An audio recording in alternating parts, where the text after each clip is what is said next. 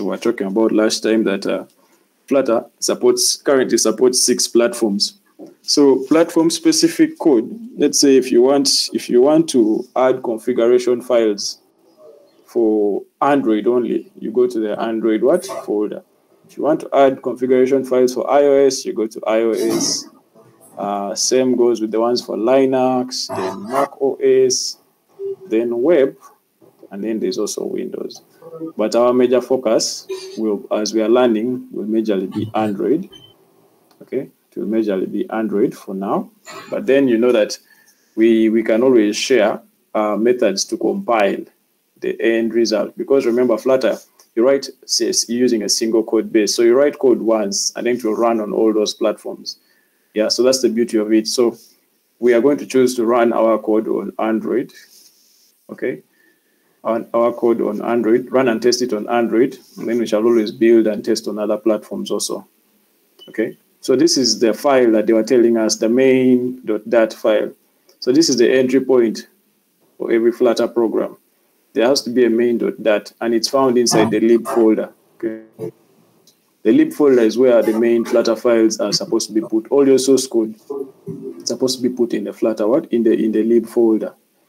If you want images and all the other things, you can always create another folder and name it, let's say, assets. Okay. But for today, we are going to majorly look at Flutter widgets and also how and we familiarize ourselves with the structure and how we can play around with these widgets to come around to come up with UIs that are nice, right? Yeah. So if you were to look at the basic structure of a home, a Flutter, a Flutter program, there is always a widget that is generated for you when you first run, when you first create a Flutter program, and it's called a home page widget. Okay. So as you can see, uh, it's a home page here. Then it has a build method so a build method is the one that is used for rendering any other UI, okay? And that build method is called scaffold usually, okay? But you can always, of course, dodge this since Flutter makes it so flexible for anyone to use. Yeah, so a scaffold has uh, something like an app bar, okay? And then you can also put things such as centers and bodies in a scaffold, really. So a scaffold is like the whole thing that uh, uh, encompasses your Android apps. Yeah, so all other widgets fall under it. Okay, other tiny widgets, both, both platform specific and the ones that are independent. Yeah, so if we look at an example of that, this is this is how uh, the first code that is generated by the Flutter program looks like. So what we usually do is we we remove these comments because they generate a lot of comments. These comments are used to guide you, and sometimes, uh, but you don't usually always need to reuse it. You get used to these comments, so you just remove them, like I'm going to do. So I move these comments. Okay. So this is basically that code. Whatever you're seeing here is that code. It's just that it's uh, it's in a framework Flutter now. Okay. The same data type string that we are seeing. Okay these operators, increment operators are here. Okay. Yeah. So basically, when you create a new Flutter program, this is these are this is the boilerplate code they give you. So this is basically all boilerplate. Boilerplate meaning they give you some code that you can start with and you modify. Yeah. So we're going to just be deleting these comments to make the code shorter. So what we focus on that structure and we first see what we're talking about in terms of uh, the home page. Yeah, so this is like a home page uh, class, okay? So here they're saying class my homepage extends a stateful widget, okay? When we looked at uh, object-oriented programming last time, we talked that uh, a child class in, inherits from a parent class. For this case, uh, my homepage is inheriting from a parent class stateful widget. Okay? We shall explain those concepts also. But for now, just look at the structure. When you come to homepage, uh, this is for stateful widget, then the real syntax comes and sits here. We're looking at scaffold, okay? So what does a scaffold have? It has like an app bar, then we have a body. So the body by default comes when they have centered some other widgets. Center widget, and the center widget can have a child. Okay, so here they are saying the child is a column.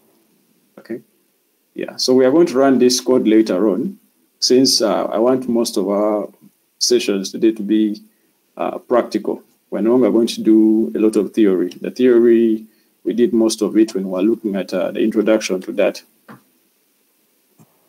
Okay, so a widget build visualization. So widgets can be grouped into multiple categories based on their features.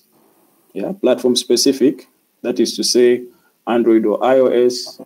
Then they are layout widgets. Okay, then there are state maintenance widgets.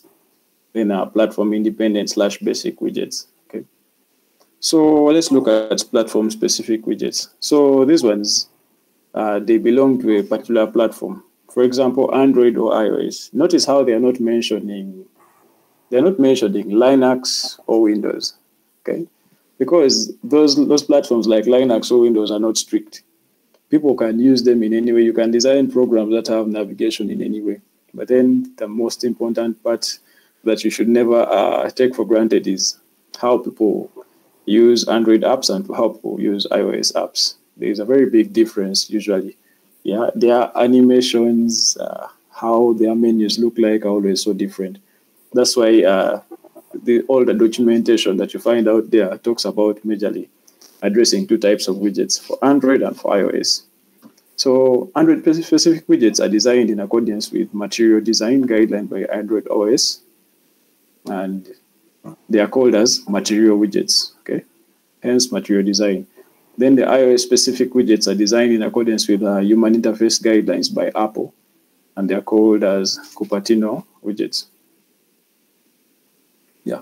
So these are some of the examples of the material widgets that we're going to see as we as we keep on with uh, the development. There is what we call a scaffold, like we looked at it.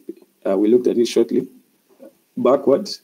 So uh, a scaffold encompasses other items such as an app bar, bodies, and you can also add, let's say, bottom navigation bars to a scaffold. So it's a very, very important aspect of Flutter programming. Most times people use scaffolds. If you're not using a scaffold, then uh, you run into a lot of design issues because it comes with a certain parts that are predefined for you that just make everything easy. Then app bars. We shall look at what an app bar is Okay, we shall look at what an app bar is. Then there, there is that design for bottom navigation bars. There are those apps such as Instagram. When you look at uh, the bottom, they have bottom navigation bars. Then we also have, uh, let's say, when you look at the X app, it has uh, bottom navigation bars. Then tab bars. Tab bars are also a, a unique type of bar. It's for navigation, whereby you tap a certain tab and then they show you data. Yeah.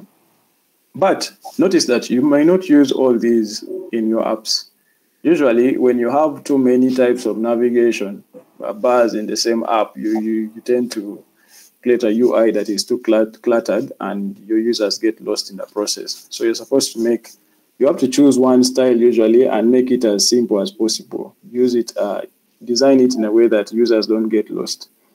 Okay, when you're building an app, we focus on solving a problem. So the fastest way that a user can solve and use the app and solve the problem is what you aim to achieve. And then there's a widget called a list tile. This is just a, a normal tile that is used to display certain data. Okay, you shall also see it. Then there are what they call raised buttons. Okay, so raised buttons are buttons that existed uh, in Flutter, let's say 1.2 but currently we call them elevated buttons. Yeah, there are those buttons that look like they are they are popping up. Then there's what they call a floating action button. Okay, so this is also some important aspect that we shall probably look up in the in the coming in the coming sessions. Yeah, then we have flat buttons. Flat buttons these days are called text buttons. They are flat, they don't pop up. They are the opposite of what raised or elevated buttons. Then there are icon buttons. An icon can be used as a button in what? Flutter. Then there are drop-down buttons. Okay, so this is this is self-explanatory. Drop down. When you touch it, uh, certain items pop out, and then you can choose something. Then there is a pop-up menu button. Okay, so this one pops up. Items appear upwards. Then there are button bars. Button bars are used for aligning buttons also. Then there's what they call a text field. This is also one very important uh, widget in Flutter. It is used for collecting input from users. Okay, so there are actually two types. There's a text field, then there's a text form field. Okay, so their implementations are not so different, but then it's always a matter of choice when you're programming Flutter.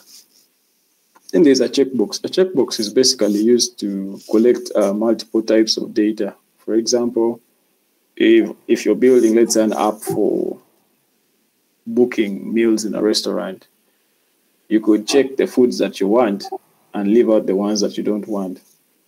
Okay. Then there is a radio button. Radio button is that which gives you an option to choose one thing. For example, you may use it in your choosing, let's say, genders. You're trying to program a menu whereby someone can choose their genders they're signing up. Okay. Then there's a switch. Yeah, switch is that one that you use for on and off functionalities. So it's it has one status, on and off, and it's only one button. So things such as switches can be used for in your apps for putting menus such as something to toggle between light mode and dark mode. Since these days a lot of people use uh, dark mode, so you can create like a switch. That's just an example. Then there are sliders. Sliders are basically used to have certain content that is movable. Then there are date and time pickers. These ones are used uh, in Flutter to be able to allow guys to design applications that can be used to pick time, date and time. Let's say if you're signing up and they tell you to choose your date of birth. So rather than typing your date of birth, which usually brings errors because sometimes you can type your date of birth in a form and then uh, the format of the data is really disorganized. Maybe you may decide to start with your month, then the date, then the year. And yet the, the software is expecting the year, the month, then the date.